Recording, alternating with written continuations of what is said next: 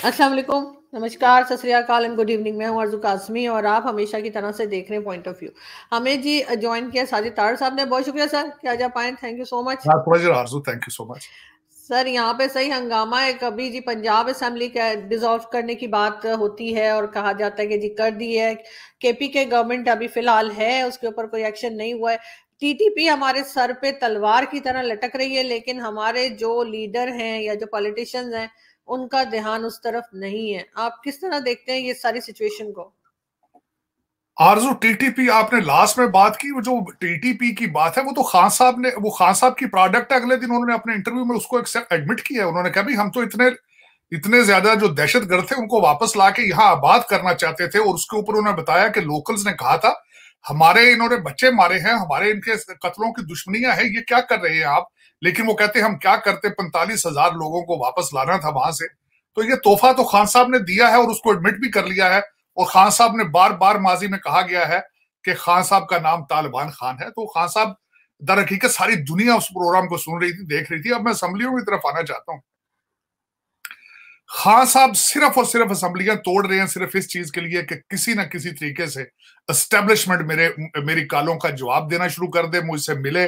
मुझे दोबारा गोद में उठा ले, सिर्फ़ और सिर्फ़ ये ऑब्जेक्टिव है, इनका दूसरा कोई ऑब्जेक्टिव नहीं। इस वक्त मैं समझता हूँ, खान साहब, मैं हैरान था कि इस वक्त एक मेजर लेवल का ऑफिसर जो है, वो पीटीआई के साथ कम्युनिकेट करता है और इस पे तड़प रहे हैं। मेरी इंफॉर्मेशन के हिसाब से इन्होंने एस्टेब्लिशमेंट के जो हायर लीडरशिप है, उसके, उनके रिश्तेदारों चीज़ों को इन्होंने रबते करने शुरू कर दिए हैं। दो तीन बंदे इन्होंने ऐसे ढूंढे हैं जिनके साथ डायरेक्ट ये बातें करना करें। बल्कि खान साहब ने अगले दिन जो तकरीर की थी, उसमें सख्त गुस्से में थे, क्योंकि उसमें गुस्से की वजह नज़र आ रही थी कि सदर अलवी ने ट्राई की है मुलाकात की जिस तरह वो माजी में कराते रहे हैं तो उसका जवाब जो था वो हमारे नए आर्मी चीफ ने कहा है कि उनके जो बॉस है, उनके जो वज़ीर आज़म है वो उनकी इजाज़त के बगैर नहीं मिलेंगे और अगर मिले भी तो जो बात होगी वो मैं जाके वज़ीर आज़म को बताऊँगा। खान साहब सख्त गुस्से में है। वो कहते हैं, यहाँ पे हज़ारों लोग हैं जो वो मेरे आस्थाने पे आते हैं, जो आके तो मेरे पाँव चूमते हैं आगे। तो ये कैसे हो सकता है कि एक इंसान मुझे मिलने से इनकार कर दे? खान साहब ने उसका इतना गुस्सा मनाया, उन्होंने कहा, कौन होता है मेरे नाम के ऊपर रेड लाइन लगाने वाला? मैं तो इनको उखाड़ के रख दूँगा। गुस्सा फरमाया, बहुत ज़्यादा अमीरुल मोमिन ने। हक बनता भी है जितना इस वक्त वो जितने पॉपुलर हैं कि जो मर्ज़ी वो कर लें, लेकिन कौम जो है वो मानने को तैयार नहीं। किसी ऑडियो पे नहीं चलती, किसी वीडियो पे नहीं चलती।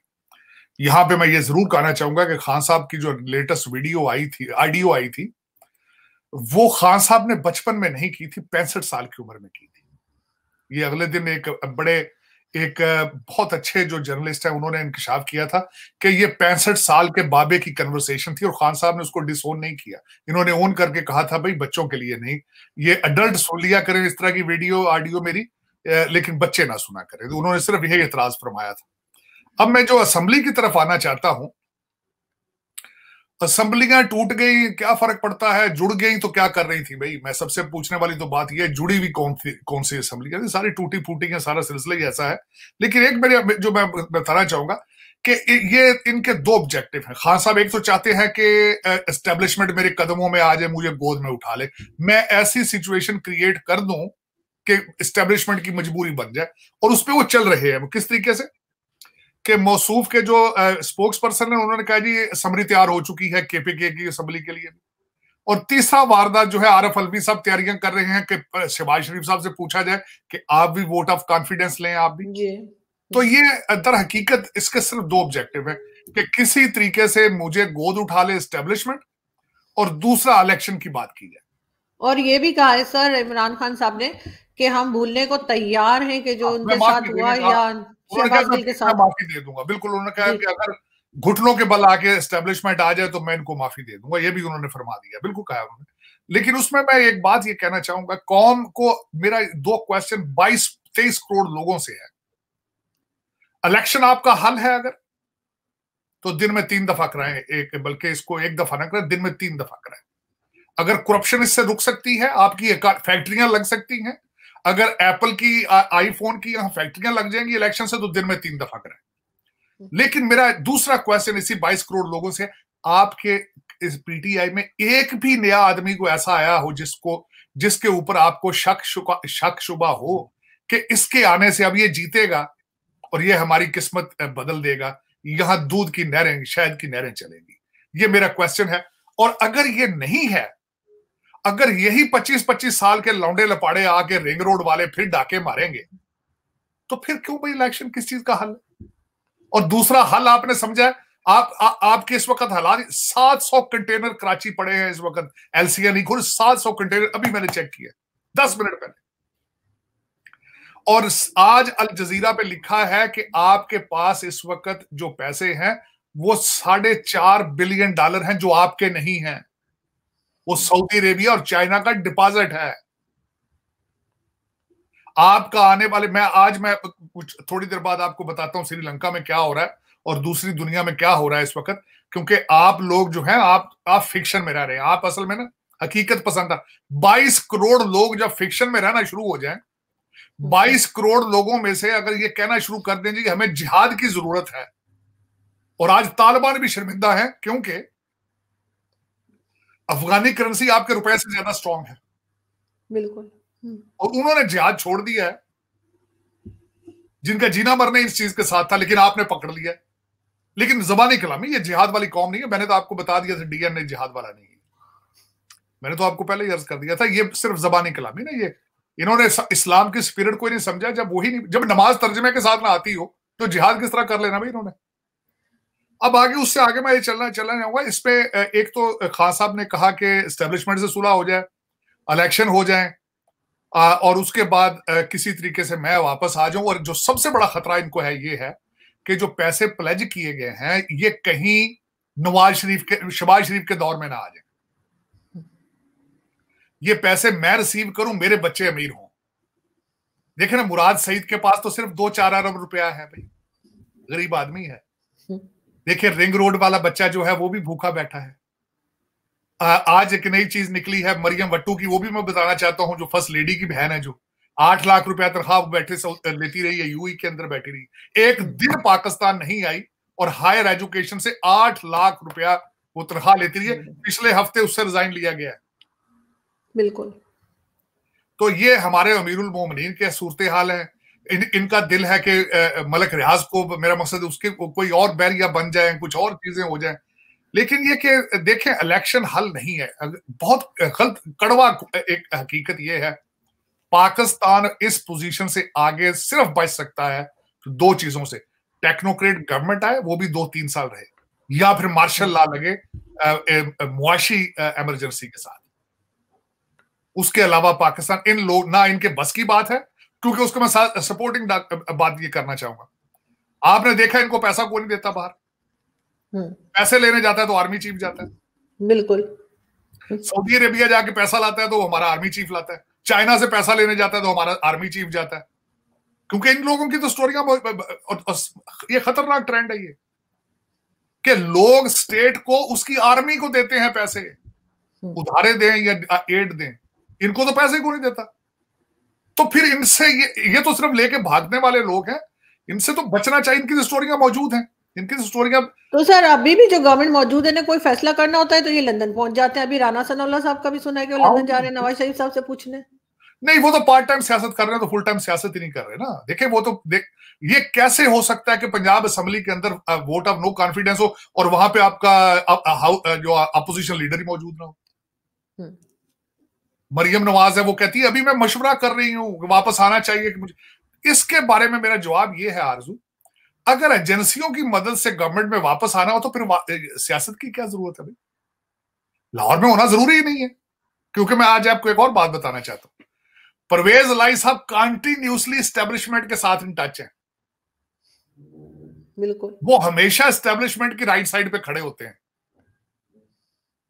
तो इस वक्त ये भी चय मगोइयाँ हो रही हैं कि ये जो इनको इलेक्शन जितवाया गया है, ये ओरिजिनली पॉलिटिकल इंजीनियरिंग का हिस्सा था और ये सारे जो बाप बेटा, ये सारा जो है, ये जो टोटल गेम चल रही है, इसमें स्टेब्लिशमेंट की भी मेहरबानियाँ साथ मौजूद है। इस वक्त ये कोई अकेला गेम नहीं हो रहा, जो इस वक्त एमक्यूएम को जोड़ा जा रहा है। हमारे अल्ताफ भाई वहाँ से बड़े खुश हो गए नई नई शालें लेकर वो स्टेटमेंटें दे रहे हैं। पेयर्स बाग पार्टी का बंदोबस्त हो रहा है, पेयर्स पार्टी तो ये आपकी दर हकीकत आपकी तवज्जो टीटीपी पे नहीं है आपकी तो पॉलिटिकल इंजीनियरिंग है इस वक्त चल रही है। आपका तो आपकी तो बदनसीबी यही है कि छिहत्तर साल से आपने सिर्फ़ पॉलिटिकल इंजीनियरिंग में तरक्की की तो, है। सर ये पीपल्स पार्टी सॉरी ये पीटीआई हो चाहे ये इसके साथ एमक्यूएम हो या पीएमएल हो ये तो सब स्टैब्लिशमेंट ने खुद बनाई है। सा, सारी पार्टियाँ सारा कुछ ही तो उनके गेम है भाई। हाँ। मैंने तो आपको पहले अर्ज़ किया था कि भुट्टो जो थे वो अयूब खान के बच्चे थे बेटे थे उनके। हाँ। नवाज़ शरीफ साहब जयाल हक के बच्चे थे, बेटे थे, ये जयूल इस्लाम का बरखुरदार है। इंडिपेंडेंट तो यहाँ पे आपके कोई, आपकी आप, मैं गलत हम सॉरी कि मैं श्रीलंका से कंपैरिजन करना चाह रहा था और राजा बख्शा के साथ। देखे ना, उसके भी तो सारे भाई भतीजे, सारी सारी मिनिस्ट्री उसकी, अपनी थी सारी। राजा पक्षा की श्रीलंका। इसी तरह नवाज़ शरीफ का देख लें।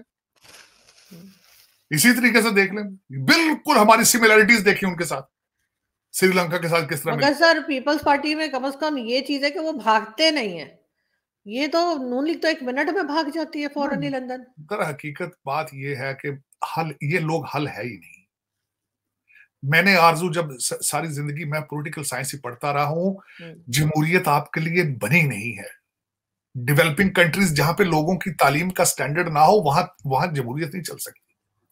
दिस ये एक ये एक वेस्टर्न सिविलाइजेशन का एक प्रोडक्ट है जहाँ लोगों को एटलीस्ट ये तो पता हो कि व्हाट इज़ कॉल लेजिस्लेशन हम असेंबलियों में आए हैं हम क्यों आए हैं? यहाँ पे मुसलसल कारोबार होता है कि पाँच करोड़ लगा के आए हैं पच्चीस तीस बना के जाएँगे। ये सियासत नहीं है ये जमहूरियत नहीं है। और दूसरा दो चीज़ें बहुत ज़रूरी सोसाइटी के लिए इससे पहले कि उनको जमहूरियत उनके हाथ में पकड़ा दी जाए। दो चीज़ें बहुत ज़रूरी तालीम बहुत ज़रूरी है लॉ एंड ऑर्डर बहुत ज़रूरी है और अकानमी बहुत ज़रूरी तो सर ये सब तो कहाँ कहाँ से पढ़ के आए हुए हैं जो बैठे हैं इमरान खान समेत? क्या बिगाड़ लिया इनका पढ़ाई में? मैं नहीं मानता ये पढ़े लिखे। कौन कहते हैं? डिग्री लेना ऑक्सफोर्ड से आपको तालीम थोड़ी मैं नहीं मानूँगा कि वो तालीम तालीम याफ्ता मेरे सामने इमरान खान साहब बैठ के मुझे बता दें कि पाकिस्तान की 22 करोड़ लोगों को जिहाद की ज़रूरत है। और सियासत की जो बातें करते हैं अपनी कैप, साढ़े तीन साल की गलतियाँ तस्लीम नहीं कर रहे कौन कौन सा इनको मैं कहूँ, ये कि अच्छा एक करेक्टर है इनका। साढ़े तीन साल की गलती इन्होंने आज तक मानी कि मैं फला जगह मैंने गलत की, मैंने मुझसे ये गलती होगी, मैं कौम से माफ़ी मांगना चाहता हूँ। दुनिया पूरी में, आज मैं नई बात नहीं करना चाहूँगा, आरज़ू। पूरी दुनिया से पाकिस्तान के रिलेशनशिप इन्होंने खराब की पूरी दुनिया से। बिल्कुल। भारत के साथ एक गोल्डन अपॉर्चुनिटी थी जो जावेद चौधरी साहब ने अपने आर्टिकल में लिखा था कि मोदी साहब पाकिस्तान आना चाहते थे। वो लसबेला के पास जाकर हिंगलाज वो जो है वहाँ पे हिंगलाज जाके लसबेला में जाके वो वहाँ पे दस दिन रुकना चाहते थे। पाकिस्तान के साथ ट्रेड खोलना चाहते थे। That was the deal of the century और किसने मना कर दिया? खान साहब ने मना तो सर ये तो कहते हैं इनके पास पावर ही कोई नहीं थी सारा कुछ तो एस्टेब्लिशमें चला रही थी तो इन्होंने कैसे मना कर दिया? कुरैशी साहब ने कहा था भाई आप ए, इन्होंने उन, उनका प्रोग्राम था कि 20 साल के लिए कश्मीर का मसले पे हम बात नहीं करेंगे ट्रेड हम खोल देंगे। आ, लेकिन कुरैशी साहब ने कहा था कि आप आपको सियासी तौर पे बहुत नुकसान होगा। वो ये एक ड्रामा है कि मेरे पास कुछ नहीं था होता तो लेकिन एक बात ये ज़रूर है कि बाजवा साहब himself was interested in softening up relationship with Bharat क्योंकि उसकी वजह ये है कि जो ट्रिप uh, जो ट्रिप था सेटअप किया था वो जनरल फैज ने और वो जो आ, uh, आ, uh, उनके एनएसए थे भारत से आ, उन्होंने देओल साहब इन्होंने दोनों ने मिलकर मिडल ईस्ट में यूएई में मीटिंग्स इनकी होती रही बल्कि अमेरिका के अंदर जो यूएई का एम्बेसडर था उन्होंने ये बात लीक की थी कि this is what is going on मैं समझता हूँ कि बदनसीबी पाकिस्तान की कि that was a deal of the century जो खान साहब के को क्रेडिट जाता है इसको तबाह करने के लिए खान साहब को क्रेडिट जाता है हर मुल्क के साथ, अमेरिका के साथ रिलेशनशिप इनके खराब एमबीएस के साथ रिलेशनशिप इनके खराब सी पैक इन्होंने बंद कर दिया, अफ़गानिस्तान का ड्रामा इन्होंने, कोई एक मुल्क मुझे बता दें कि खान साहब ने फ्लाक कंट्री के साथ बहुत अच्छे रिलेशनशिप कर ली थी। अगर ये वापस आया बंदा, मैं समझता हूँ कि मैं ये, आज मेरा नोट कर लीजिएगा बात कि अगर ये बंदा वापस आया Pakistan won't be able to survive मेरे ख्याल में मेरे में और मैं ये बात खुद नहीं कर रहा हूँ मैंने वॉशिंगटन डीसी में कई लोगों से सुना था कि अगर ये खास साहब कुछ अरसा और रह जाते तो फिर आप आपको पाकिस्तान ढूंढना ही पड़ना था कई नक्शों में कि किधर गया पाकिस्तान। क्योंकि साथ साथ सर साथ साथ इनका ये भी कहना है कि जी शहबाज शरीफ साहब के लिए कि मैं उनको नींद की गोलियाँ खाने पे मजबूर कर दूँगा। ये स्टेटमेंट भी आज खान साहब का आया हुआ था। देखिए गो, गो, तो सर अगर रखना ही होता सर तो इनको हटाते ही क्यों? अगर इन्हें दोबारा लाना होता तो हटाते ही क्यों? नहीं देखें इस वक्त दर हकीकत ये है कि आपके मेरा ख्याल में कुछ लोग ऐसे हैं उनको पता नहीं क्या बात है ये ये आदत पड़ चुकी है इस तरह की ड्रामेबाजी की कि वो पॉलिटिकल इंजीनियरिंग पे तवज्जो दिए जा रहे हैं। हालाँकि उन्हें पता है इसमें से निकलेगा निकलेगा कुछ नहीं। इसमें इसमें मजीद गंद से गंद। अब मैं बात अगली जो करना चाह रहा था वो आरज़ू आपने मुझे रोक दिया वो चेन ऑफ़ थाट थी। असम्बलियाँ खत्म हो गई ठीक है जी। ये भी खत्म होगी के पी खत्म होगी। अब उसके फ़ौरन बाद क्या आना है? इंटर्म गवर्नमेंट बनानी किसने बनानी है? फेडरल गवर्नमेंट ने बनानी और किसकी मर्ज़ी से? इनकी मर्ज़ी से। ये वहाँ नहीं मानेंगे। हम्म। फिर उसके बाद ज़िम्मेदारी जाती है इलेक्शन कमीशन पे। वो बनाएगा वो भी नहीं है मानेंगे। इलेक्शन करा दे अगर ये इलेक्शन हार जाएँगे फिर इलेक्शन के रिज़ल्ट को नहीं मानेंगे। तो मुझे समझ नहीं आती कि ये चाहते क्या है? जो बात इनकी मर्ज़ी की ना हो, उसको नहीं मानते। फैसला गलत इनकी अदालत से फैसला गलत आ जाए तो अदालत गलत थी। इलेक्शन कमीशन से फैसला गलत आ जाए तो इलेक्शन कमीशन गलत था। फौजी, आज आर्मी चीफ इनके मर्ज़ी का ना लगे तो वो वो गद्दार है। वो शबाज शरीफ को प्रोटेक्ट करने के लिए आ रहा है। इनकी स्टेटमेंट थी कि अपनी मर्ज़ी का आर्मी चीफ लाएँगे अपनी करप्शन को बचाने के लिए। हर चीज़ जो मेरा मकसद इनकी मर्ज़ी को ना हो, उसको एक्सेप्ट नहीं करते तो फिर ये किस तरह आगे चलेगा पाकिस्तान इस बंदे के साथ? लेकिन एक मैं बात ये बताना चाहूँगा बात कि वो अभी तक जो गेमें खेल रहा है, जिस तरीके से पाकिस्तान को उसने हास्टेज बना लिया है, मेरे, ये मैं कई दफ़ा डरता रहता हूँ, ये ना हो कि कल को एस्टेब्लिशमेंट के पास चॉइस कोई ना रहे। इस वक्त जो हमारे शबाज शरीफ साहब ने और नवाज़ शरीफ साहब ने अपनी सियासत को पार्ट टाइम कर दिया है कि वो जिस तरीके, देखे ना सीरियस ही नहीं ले रहे ना, वापस ही नहीं आ रहे फ़ील्ड में ना उन्होंने कोई इस वक्त अगर देखा जाए तो उनका सबसे पहला पहला नरेटिव यही था नवाज़ शरीफ का कि वोट को इज़्ज़त दो। अब दोबारा जाएँगे कौम के पास वोट लेने के लिए सियासत में इलेक्शन में तो किस किस नैरेटिव के साथ जाएँगे, क्या नारा लगाएँगे वहाँ पे जाके? कोई क्या चीज़ काउंट कराएँगे? और ये दूसरी तरफ़ पे जाके जो हमारे अमीरुल मोमिन है, उनके पास तो बड़ा इजी तरीका कार है, महँगाई को डाल देंगे इनके गले में। तो फिर क्या बनेगा? मैं यही लेकिन सर एक ऐसा मुल्क जो कंगाल है जिसके पास पैसा नहीं है उसमें इनको क्या शौक बना हुआ है प्राइम मिनिस्टर बनने का? नहीं देखें शायद अगर ये बाहर से पैसों की उम्मीद ना होती तो शायद इतना इतने एक्साइटमेंट ना बनती। अब तो पैसों का पैसे इनको नज़र आ रहे हैं। अब तो वो ग्रीन्स नज़र आ रहे हैं डॉलर डॉलर वो हमारे कहते हैं नाच मेरी बुलबुल तुम्हें डॉलर मिलेगा। अब तो वो डॉलर मिलेंगे अब तो प्रॉपर्टियाँ लंदन की महँगी हो जाएँगी दुबई में प्लाजे बनेंगे। आप देख तो देखें तो सही ना किस तरीके से आज आज मैं एक आर्टिकल किसी का पढ़ रहा था।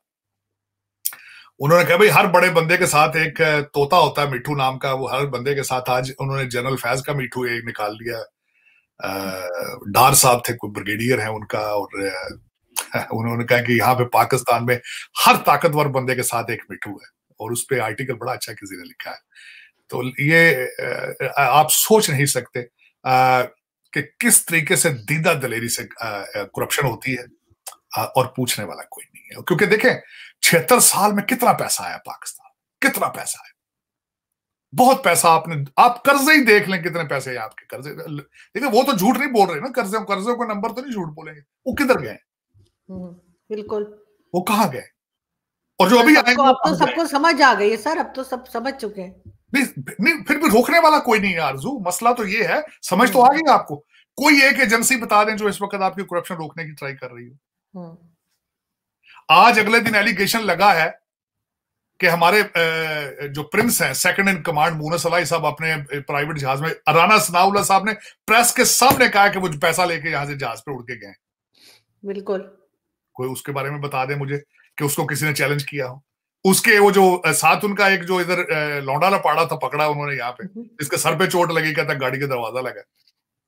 हम्म। दूसरे सबके नाम इसी एल में कहते हैं अकाउंटों अकाउंट अकाउंट उनके सबके सामने आ रहे हैं। मैं आज आपको लिख के दे देता हूँ इसका कुछ भी नहीं बनेगा। कुछ भी नहीं बनेगा। बदकिस्मती इस मुल्क की क्योंकि इस तरह के डाके आज एक नहीं पड़ रहे छिहत्तर साल से पड़ रहे हैं और रोकने वाला ऐसा ही है। रोकने वाला रोकने वाले होते तो आज आप पाकिस्तान के हालात ये ना होते। मैं दुख के साथ कहता हूँ, मेरी मादर मिलत एक एटॉमिक पावर है। आपने अपने एटॉमिक पावर बनाने वाले को भी किस तरीके से जलीलो ख्वार करके मारा है? हमारे प्राइम मिनिस्टर साहब, अमीरुल मोमिन उसके जनाजे में नहीं गए तो दर हकीकत सर, वो तो किसी के भी जनाजे में नहीं जाते, वो तो उनका एक वतीरा है, अपने करीबी से करीबी के जनाजे पे वो नहीं जाते। वो वो मर्ज़ी वो जब देखे जब आपकी अना इतनी बड़ी जब आप समझें कि Pakistan is smaller for me वो कहते हैं मैं तो भाई अगले दिनों कहा तैयब बर्दगान हूँ मैं मैं मुझे पकड़ा गया तो टैंकों के नीचे आ जाना मर जाना गले काट देना। हाँ तो, बिल्कुल। तो बस इसमें अब तौबा तौबा ही हो सकती क्या इसमें किया जा सके देखते हैं आगे क्या होता है और ये असेंबलीज का क्या करते हैं आई होप के ये खैर कुछ भी हो लेकिन ये फ़िलहाल वापस ना आए तो बेहतर है। अब जैसे आप कह रहे हैं कि टेक्नोक्रेट की गवर्नमेंट आ जाए वही हाँ। बेहतर होगा। नहीं देखें दो चीज़ें आरज़ू उसमें टेक्नोक्रेट उसकी हिस्ट्री थोड़ी सी बताना चाहूँगा जब भी टेक्नोक्रेट इन्होंने लिए हैं तो लेते हैं आईएमएफ से और वर्ल्ड बैंक से क्योंकि पैसे इनका ऑब्जेक्टिव होता है। तो मेरी हम्बल रिक्वेस्ट है ले उनसे लेकिन इस दफ़ा एक ज़रूर काम करें उनसे कहें कि वे अपनी सिटीजनशिप छोड़कर आए। और हाँ। दूसरा कोशिश करें कि दूसरे मुल्कों से भी लें, पाकिस्तान से भी लोगों को लें। एक टीम बने और दो ढाई साल के लिए वो टीम आए और उसका इसकी, उसकी शर्त एक होनी चाहिए कि अपनी सिटीजनशिप छोड़ें और बच्चों को भी वापस लेकर लोग आए। अगर नहीं आ सकते तो फिर ना आए, लेकिन उनके नाम ईसीएल में होना चाहिए और जितने फैसला करने वाले लोग हैं, उनकी ईसीएल होने, जाए तो मुल्क से बाहर जाना हो तो परमिशन लेकर जाएँ। अगर सर्जरियाँ करानी हो तो पाकिस्तान से अंदर से कराएँ, वरना इस काम को ना छेड़े। मैं समझता हूँ कि इस दफ़ा देखें तीन लोगों की सर्जरियाँ हुई हैं मरियम नवाज़ साहबा की सर्जरी वो भी बाहर से। आ, हमारे हमजा शबाज शरीफ साहब की बच्ची की सर्जरी भी बाहर से और सुना है उनकी वालदा की भी कोई सर्जरी है वो भी बाहर से। पहले बड़े मियाँ हैं वो भी बाहर से। तो अगर पाकिस्तान इतना बुरा है तो फिर उसकी उसमें सियासत में आके इलेक्शन क्यों लड़ते हो आगे? बिल्कुल। तीसरी दफ़ा आप प्राइम मिनिस्टर बने हो वहाँ पे अगर हॉस्पिटल नहीं बना सके हो तो प्लीज़ माफ़ी दे दो पाकिस्तान। पाकिस्तान को माफ़ कर दें आप। आप परमानेंट लंदन है क्या फ़र्क पड़ता है? मैं भी तो अमेरिका में बैठा हूँ। अगर मैं रोज़ाना सुबह शाम में वहाँ जाके इलेक्शन लड़ना चाहूँ वहाँ डाका मारने का मेरा प्रोग्राम हो तो फिर वहाँ अगर तीन दफ़ा मैंने मारना हो डाका जाके तो वहाँ पे कोई किसी किसी डॉक्टर को क्लिनिक ही बना दूँ कि सुबह शाम उसके साथ मैं अपना मैटर डिस्कस कर सकूँ। अगर पाकिस्तान के अंदर एक क्लिनिक ऐसा नहीं है जहाँ से सर्जरी कराई जा सके तो फिर उस मुल्क में आपका हक नहीं बनता कि आप आके इलेक्शन लड़े वहाँ से। जबकि आपने इतने साल गुजारे हो तीन बार प्राइम मिनिस्टर रह चुके हो। लेकिन ये कि ये सोचना बाईस करोड़ लोगों का भी काम है। लेकिन सर यहाँ पे तो यही कहा जाता है ना कि एस्टेब्लिशमेंट ले आती है जिसको लाना चाहती है वोट का इसमें कोई दखल नहीं, नहीं होता पाकिस्तान में होता क्या है लोग होते हैं बोर। साथ वो ढोल ले आते हैं और हम्म। साथ गाना लगा देते हैं मियाँ दे नारे बजणगे वो बस नाचने के लिए बच्चे बच्चियाँ इकट्ठे हो जाते हैं और इसी चक्कर में वो और कैमरा घुमा घुमा के दिखा देते हैं। लोग दस खड़े हो नज़र पचास आते हैं।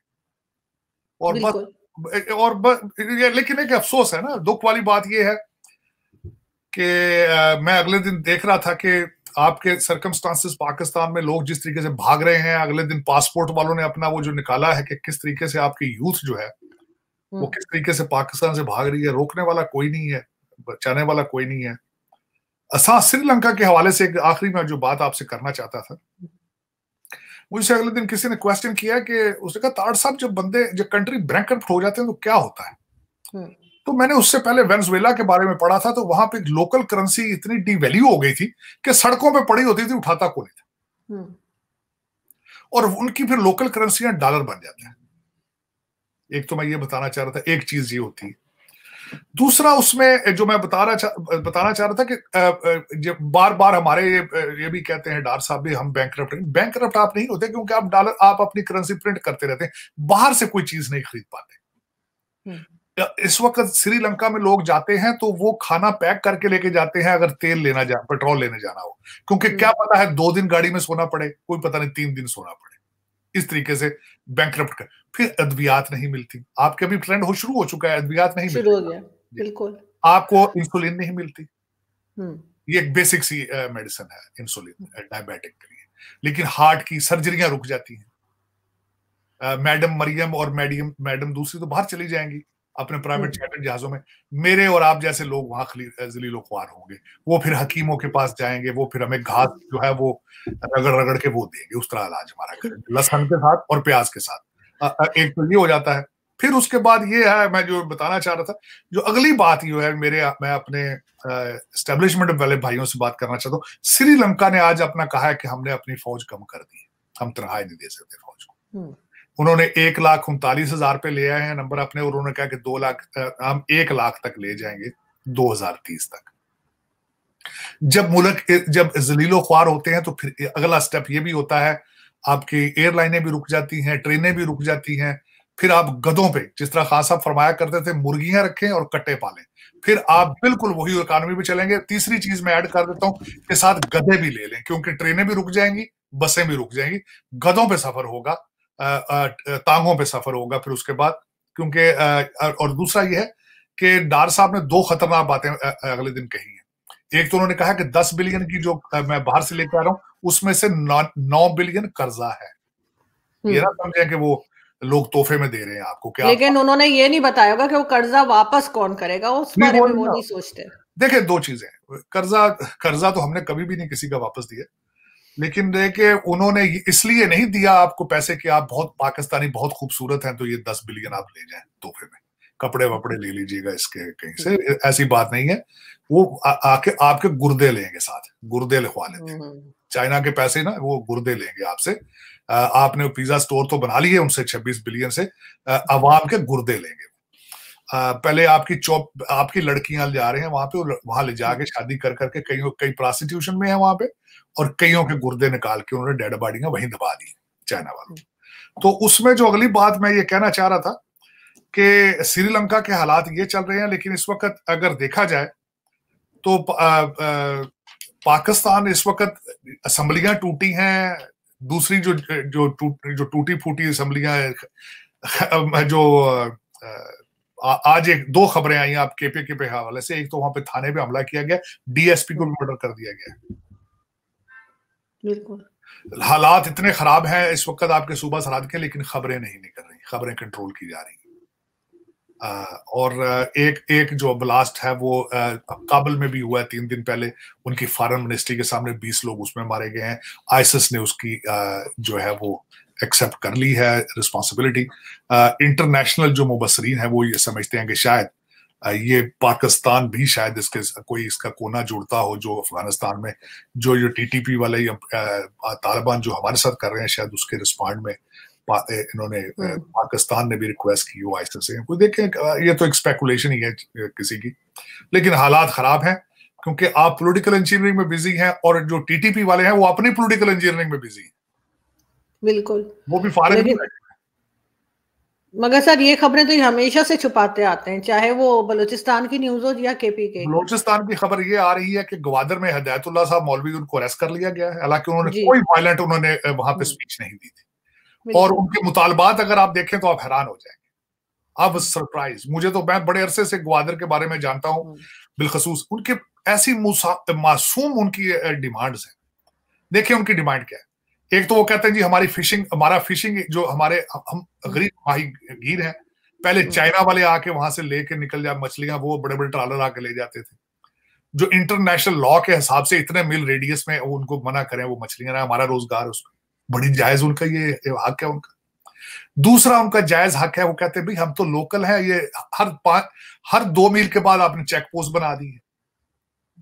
दूसरे वो बलोच लोग हैं उनकी खातन बुरके पहनती हैं ये आपकी पुलिस वाले उनकी बुरके उतरवा उतरवा के उनके बेहरमती करते हैं। दूसरा उनका ये एतराज़ है। भाई हमारे घर में आके चेक पोस्टें बना ली आप। तीसरा उनका एतराज़ ये था कि उनके पास ईरान से वो गुर्बत इतनी है वो उनके आगे जाके वहाँ मकरान एरिए में उनका बॉर्डर मिलता है। ईरान के साथ वो कहते हैं हमें वहाँ से ट्रेड करने दिया जाए। हम वहाँ से चीज़ें ले सकें कुछ बेच सकें उनके हम्म। साथ। तो उस पर भी कितने मुसा छोटी छोटी उनकी डिमांड्स हैं, जो कि डूएबल हैं सॉल्वेबल हैं। मैं समझता हूँ दुनिया में आज तक कोई ऐसा मसला बना ही नहीं है, जिसका हल ना हो, लेकिन आपके पास विल होनी चाहिए। लेकिन हमारे ब्यूरोक्रेटिक लोग, ये जितने ये हैं इनका, मैं क्या कहूँ कि किसी को ये ख्वाहिश नहीं है कि पाकिस्तान को किस तरह मैनेज करना है, ये चलाना है। दुख वाली बात है, हैं ग्रेजुएट सारे ऑक्सफोर्ड और हार्वर्ड के। लेकिन पाकिस्तान जाते हैं तो अकल पे ताले लग जाते हैं। ये भी है सर और दूसरा ये बलूचिस्तान को कुछ समझते भी नहीं है। ये भी एक बहुत ट्रेजिडी है कि बलूचिस्तान के लोगों को जो शिकायतें होती हैं वो कुछ गलत नहीं है। मैं यहाँ पे अर्ज़ करना चाहता हूँ जो अगले दिन मैंने आपके पासपोर्ट एडमिनिस्ट्रेशन की जो मैंने रिपोर्ट पढ़ी थी कि इस वक्त पासपोर्ट बना के जितने ज़्यादा लोग बाहर जा रहे हैं उसमें सबसे ज़्यादा बलोची यंग लोग हैं। बिल्कुल। और उनके पास कोई और चॉइस हमने छोड़ी नहीं है इसलिए एतराज़ हम नहीं कर सकते। बिल्कुल। बहुत शुक्रिया सर आपने आज ज्वाइन किया। Thank you so much thank you